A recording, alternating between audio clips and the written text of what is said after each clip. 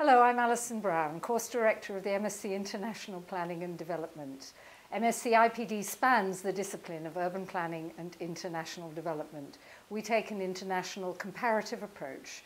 The course is professionally accredited by the Royal Town Planning Institute and the Royal Institution of Chartered Surveyors, so it equips you for a career in professional practice or academic research. Above all, MSc IPD focuses on cities. Since 2008, more than half the world's population has lived in cities, set to increase to two-thirds by 2030. Cities are seats of government and learning, crucibles of culture, arts and theatre, engines of economic innovation and sites of multiculturalism.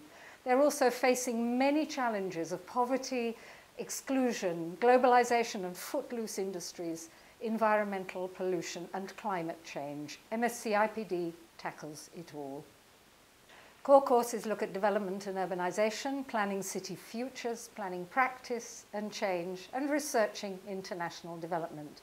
And there's a choice of option routes through the programme, focusing on real estate, urban design, housing, and a general route tailor-made to students' interests.